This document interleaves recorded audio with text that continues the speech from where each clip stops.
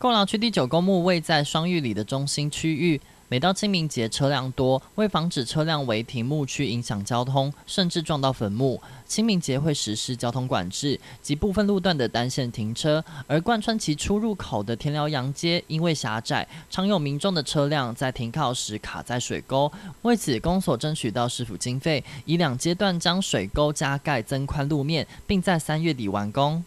田寮洋街往第九公墓道路狭窄，在道路无法扩宽之下，哈，因为需要水沟加盖，在四月五号之前呢，我们的水沟加盖已经完成，以避免说行驶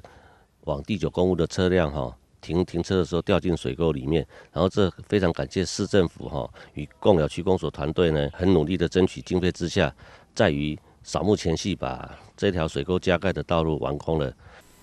贡寮区公所于二十三日开完清明协调会，确定今年维持扫墓服务站的设置，包括双玉第九公墓、芙蓉第十公墓、三雕角第十一、十二公墓及和美第十五公墓。因为墓区距离主要道路较偏远，也将出动接驳巴士，请民众遵循交管，将爱车妥善停放，安心搭乘前往祭祖。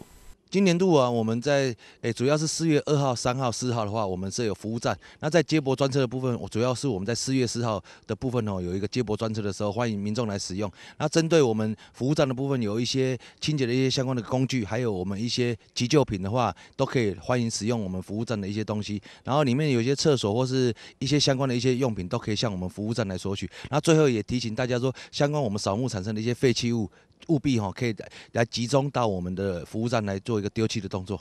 目前接驳巴士仅在四月四号当天行驶，分为三路线：一为双玉里第九公墓出入口的路线串联；二为贡寮火车站至龙门昭惠庙；三为马岗街至第十一公墓入口。请民众搭乘时务必配合戴口罩、量额温、酒精消毒，以保障居民返乡的健康安全。记者曹浩文贡寮采访报道。